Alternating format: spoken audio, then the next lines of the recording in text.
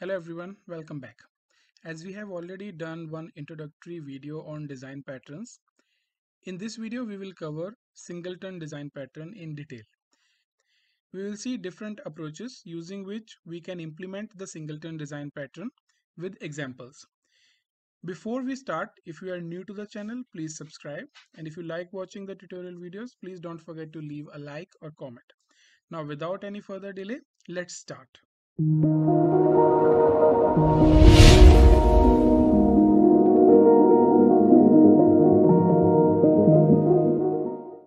So what is a singleton design pattern? Singleton pattern comes under the category of creational design patterns which are concerned with the object creation. Singleton pattern restricts the instantiation of a class and ensures that only one instance of the class exists in the JVM. It must provide a global access point to get the instance of the class. It is used for mainly logging, driver objects, caching and threadpool like services. Singleton design pattern is also used in other design patterns like abstract factory pattern, builder pattern and prototype pattern etc. Now let's see how to implement the design pattern. To implement a singleton pattern, we have different approaches but all of them have some common concepts like it should have a private constructor to restrict the instantiation of class from other classes. It should have a private static variable of the same class that is the only instance of that class. It should have a public static method that returns the instance of that class. This is the global access point to outer world to get the instance of that singleton class which we are implementing. Now let's see the different approaches of singleton pattern implementation. We have eager, static block and lazy initializations. In addition to that, we also have thread safe singleton, uh, Bill-Pugh singleton implementation and singleton implementation using enums. Now let's start with eager initialization. In eager initialization, the instance of singleton class is created at the time of class loading itself. This is the easiest method to create a singleton class, but it has few drawbacks. That means the instance is created even though the client application might not be requiring it that time. So now let's see the implementation of uh, eager initialization singleton class. So here we have this class singleton eager. It is having one static variable of the same type singleton eager and and there itself we can see we are uh, initializing it to new singleton eager and assigning it to the memory as well. And then we have its private constructor so that the other classes will not be able to instantiate it.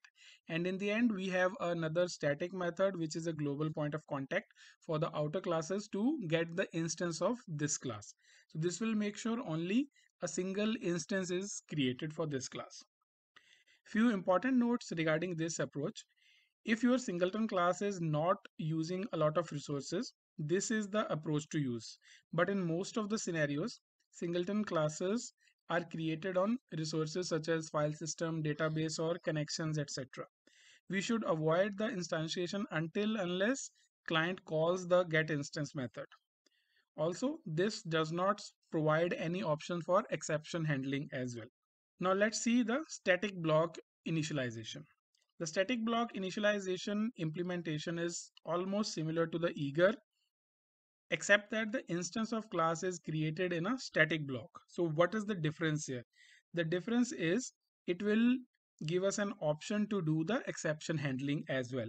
Both eager and static block initialization creates the instance before even it is being required.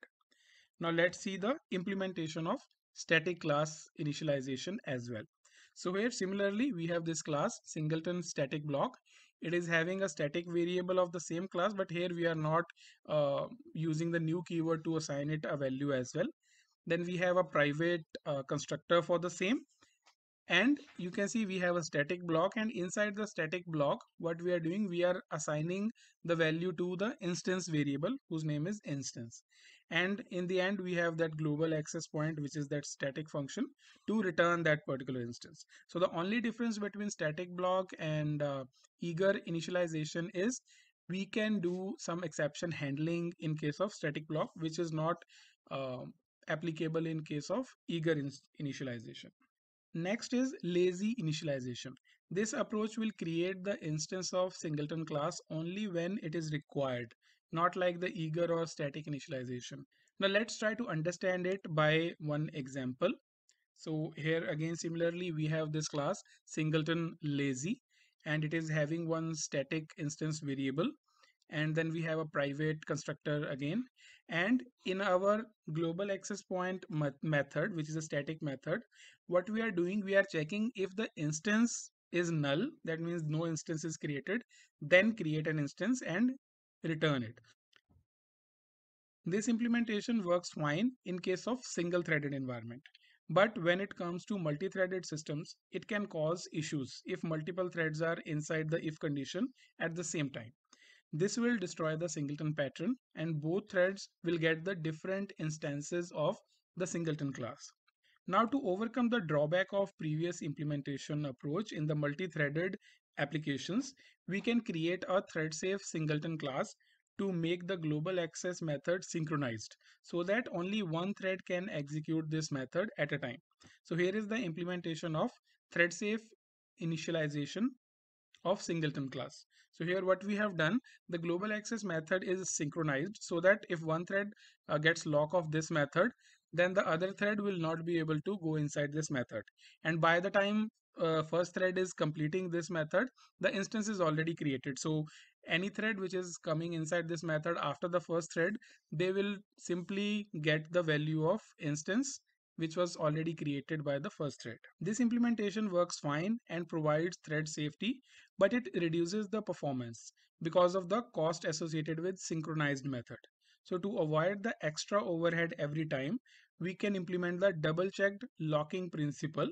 In this approach, the synchronized block is used inside if condition with an additional check to ensure that only one instance of singleton class is created. So here is the code changes required in the global access method to provide the double check locking implementation. So what we are doing, the method is not synchronized now, but we are using a synchronized block inside the method.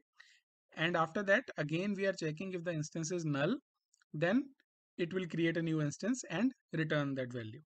So in this case, uh, the other threads can also enter into the method as well and there will not be any much blocking. So it will improve the performance of the application as well.